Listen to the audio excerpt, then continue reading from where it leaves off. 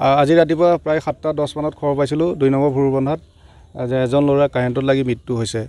আৰু সেইমতে আমি ষ্টাফ লৈ আহিলোঁ আহি পেলাই দেখা পাইছোঁ ল'ৰাজন পোন্ধৰ বছৰীয়া বয়সৰ ল'ৰা আছিলে তাৰ নাম হৈ গ'ল মঞ্জুৰ হাছান।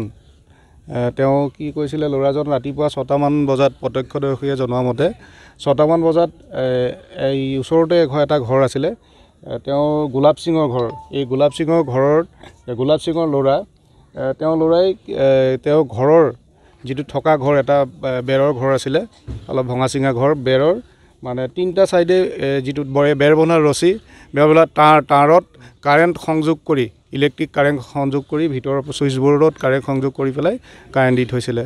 আৰু সেই তাঁৰতে লাগি পেলাই ল'ৰাজনৰ ইলেক্ট্ৰিক শ্বক হৈছে আৰু ল'ৰাজন মৃত্যু হোৱা বুলি আমাক প্ৰত্যক্ষদৰ্শীয়ে জনাইছে। আৰু আমি আহি পেলাই আহি পাইছোঁ ল'ৰাজন যিজন আছিলে যিজনে কাৰেণ্ট সংযোগ কৰিছিলে তেওঁক ৰাখিছোঁ বাৰু। আৰু যিখিনি তাঁৰ চাৰ আছিলে সেইখিনি চিজ কৰিছোঁ। আৰু যিটো মৃতদেহ মৃতদেহটো আমি ইনকুৱেষ্ট কৰাৰ বাবে আমি মেজিষ্ট্ৰেটক খবৰ দিছোঁ। তেওঁ জনোৱা মতে ক্লাছ টেনত পঢ়ি আছিল বুলি জনাইছে। আৰ্থিকভাৱে দুৰ্বল পৰিয়াল। বানপীড়িত এইখিনি ব্ৰহ্মপুত্ৰ নিচেই কাষতে। গতিকে আমি যাৱতীয় যিখিনি কৰিবলগীয়া আছে সেইখিনি আমি কৰা তেখেতৰ নাম কি? তেখেতৰ নামটো হৈ গ'ল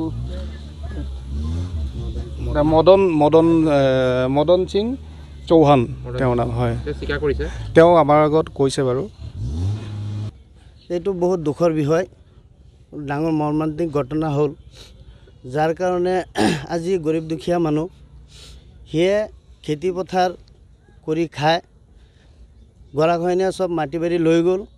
ইয়াত আহি বসবাস কৰি আছে। ইয়াত ল'ৰাটো এইবাৰ মেট্ৰিক ফাইনেল দিলেহেঁতেন। ল'ৰাটো ভাল ল'ৰা। আৰু ল'ৰাটো মানে লিখা পঢ়াত ইমান ভাল আৰু কি ক'ম। বহুত ধুনীয়া ল'ৰা। আমাৰ ৰাতিপুৱা যেতিয়া নেকি ঘটনাটো হ'ল তেতিয়া আমিও ৰাইজ আহিছোঁ। আহি পেলাই গম পাইছোঁ গম পাই তাত গৈছিলোঁ। যোৱাৰ পিছত যোনটো নেকি কাৰেণ্টটো লগাইছে তাৰ লগত আলোচনাখিনি আমালোকে কৰিছিলোঁ। কৰাৰ পিছত মানে ৰাইজে কৈছিলে যে আৰু দুবাৰকৈ লগাইছে তেখেতে কাৰেণ্টটো? কাৰেণ্টটো লগোৱাৰ পিছত মানে আমাৰ ৰাইজে বোলে কমপ্লেইন কৰিছিলে যে যে বস্তুটো মানে কাৰেণ্টটো যেতিয়া লগাইছিলে ৰাইজে মানে কৈ- কমপ্লেইনটো দিছিলে যে এইটো কাৰেণ্ট লগাব নালাগে। সিয়ে পূৰা গাদ্দাৰি কৰি থাকে যে নহয় আমাৰ মাটিত আমি লগাম কোনে কি কৰিব? এনেকৈ সিয়ে মানে পূৰা দাম্বালি মাৰি থাকে। গতিকে যেন আমাৰ এই বস্তুটো উচিত তদন্ত কৰিব লাগে।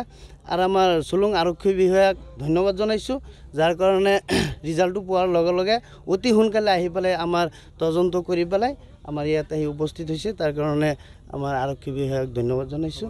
মোৰ ল'ৰা হয় মই তাতে অলপ খেতি কৰিছিলোঁ গোলাপ সিঙৰ তাত। তাৰপিছত মানে মোৰ ল'ৰাটো ৰাতিপুৱা ছটা বজাত স্কুল দুটা বজাত পঢ়ি উঠি পেলাই সি মানে কিতাপ পঢ়ি আছিলে মেট্ৰিক ফাইনেল দিব এইবাৰ ছটা বজালৈকে পঢ়িছে পঢ়ি পেলাই মোক কৈ আছে মই দেউতা খেত চাবলৈ যাওঁ মই এতিয়া গুচি আহিম চাই পেলাই সি গৈছে যোৱাৰ পিছত ইমান দেৰি হৈ আছে মই অহা নাই বোলো বাবা কেলৈ অহা নাই মই যাওঁ আকৌ মই দোকানটোলৈকে গৈছোঁ অলপ আগত দোকান এটা আছে তালৈকে গৈছোঁ যাওঁতে মানে সিহঁতৰ ল'ৰা এটা মানুহ এজনে আহি পেলাই মোক খবৰ দি আছে বোলে জল্দি আহা জল্দি আহা কেলৈ বোলে তুমি আহা মই গৈছোঁ দৌৰি পেলাই গৈ পেলাই চাইছোঁ ল'ৰাটো তাত ডেথ হৈ পৰি আছে।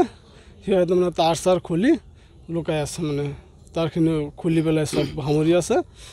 ল'ৰাটো মই তাৰপৰা কান্ধত কৰি লৈ মই ঘৰলৈকে আহিছোঁ। কিহত লাগিছিলে বিজলী কাৰণত লাগিছে। কোনে লগাইছিলে? এইটো মোৰ গোলাপ সিঙৰ ল'ৰাটো লগাইছে। সি বিজুলী কাৰেণ্ট কিয় লগাইছিলে? ঘৰত বোলে তাৰ কি হয় কিবা হয় নহয় সেইটো মই সিহঁতে জানে। মানে ঘৰ বোলে কি চেফটি কৰিব লাগে নে কি কৰিব লাগে। সেইটো কাৰণে সি মানে কাৰেণ্ট লগাইছে আমাৰ এইখিনি উচিত বিচাৰ লাগে মানে এতিয়া সিহঁতৰ যিবিলাক যিখিনি মানুহ চব এ- একে ধৰণৰ মানুহ। মুখ্যমন্ত্ৰী তাত প্ৰাৰ্থনা জনাইছোঁ। আমাৰ ল'ৰাটো এবাৰ মেট্ৰিক দিলে হয়। মুখ্যমন্ত্ৰী যদি কিবা এটা সহায় কৰে মোক উচিত বিচাৰ কৰে তেনেহ'লে মই মোক কিবা এটা। মই মানি ল'ম।